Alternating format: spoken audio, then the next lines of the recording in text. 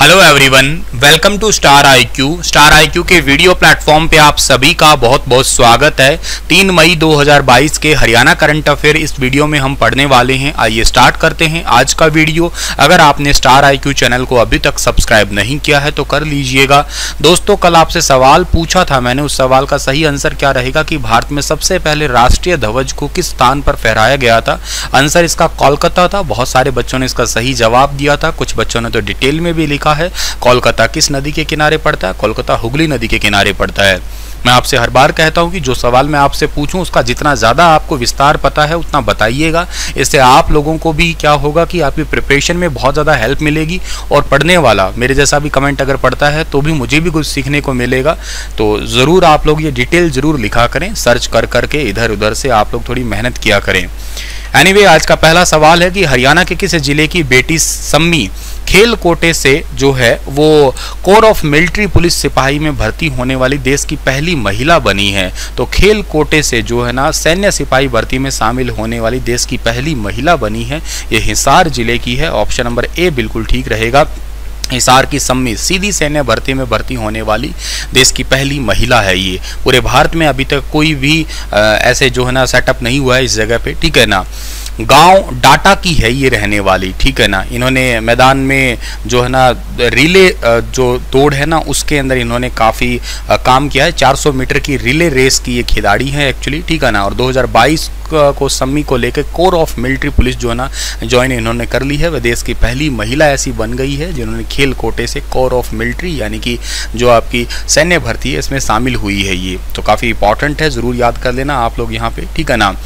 और इससे जो है ना, हिसार ज़िले की अगर आप बात करते हो तो हिसार को आप स्टील सिटी कहते हो ठीक है ना और हिसार को ही एक जिंदल स्टेनलेस स्टील जो है ना, इसी को थोड़े टाइम पहले ही उनतीस करोड़ रुपए की बिजली बचाने के लिए बेस्ट इंडस्ट्री का भी अवार्ड मिला था। तो ये बात आपको याद रहनी चाहिए। अगला सवाल हमारा रहेगा कि हरियाणा शहरी विकास प्राधिकरण द्वारा इस वर्ष कितने एकड़ भूमि पर नई परियोजनाएँ विकसित की जाएगी? तो इस साल तीन हज़ार एकड़ भूमि पर नई परियोजनाएँ विकसित की जाएगी। ऑप्शन नंबर सी बिल्कुल ठीक रहेगा।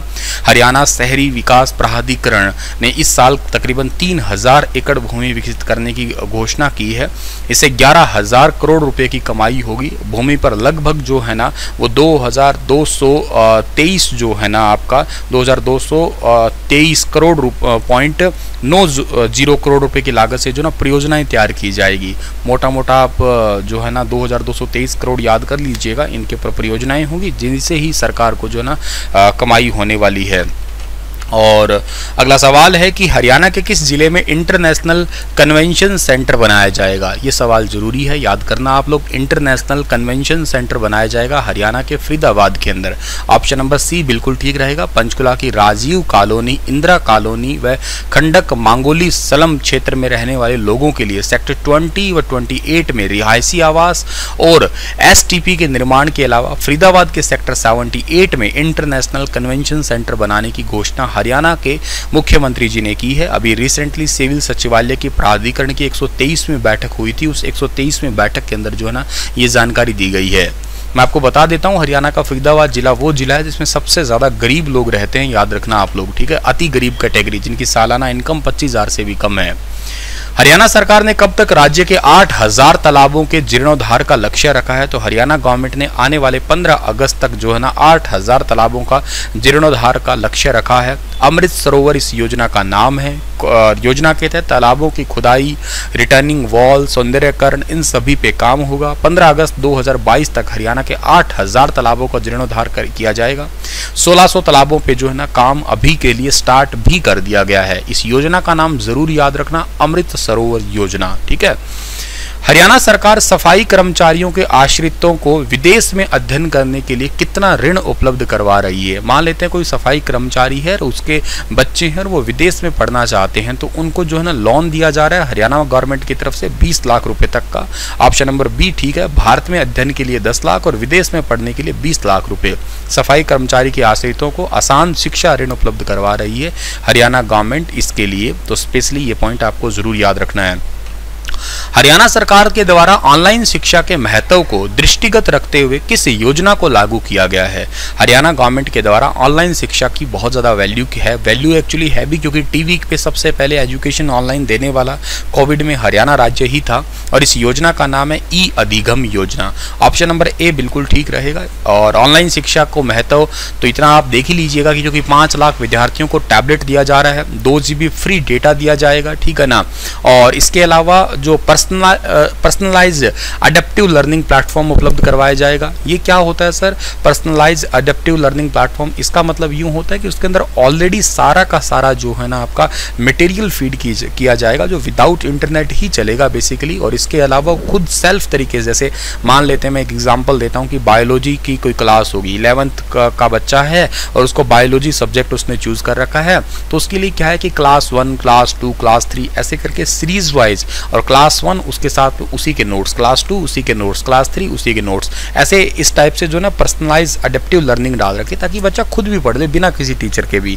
तो इस प्रकार की चीज़ें जो है ना, वो एक्चुअली टीचर तो रहे होगा ही, जिसने वीडियो रिकॉर्ड किया, लेकिन फ़िलहाल जिसको मतलब क्लास को चलाते टाइम में कोई दिक्कत ना हो। तो ये ई अधिगम योजना है, ज़रूर याद रखना। सरकारी स्कूल के बच्चों का मनोबल तो इससे ऑफकोर्स बढ़ेगा ही बढ़ेगा, ठीक है ना? पाँच मई दो हज़ार बाईस को सरकारी स्कूलों में पढ़ने वाले विद्यार्थियों को टैबलेट दिए जाएगा। इस योजना का शुभारंभ किया जाएगा। और रोहतक के महर्षि दयानंद विश्वविद्यालय के टैगोर ऑडिटोरियम में टैबलेट वितरण समारोह जो है ना वो आयोजित किया जाएगा आने वाले पाँच मई को। हरियाणा के किस व्यक्ति ने दिल्ली में हुए खेलो मास्टर गेम्स में 100 मीटर की दौड़ में गोल्ड मेडल हासिल किया है? तो इनका नाम है मास्टर साहब सिंह। ऑप्शन नंबर सी जो है ना, इस सवाल का बिल्कुल ठीक है। बहादुरगढ़ के केगांग के गाँव छारा के निवासी है ये, ठीक है ना? बहादुरगढ़ का गाँव है, जिनका नाम है छारा।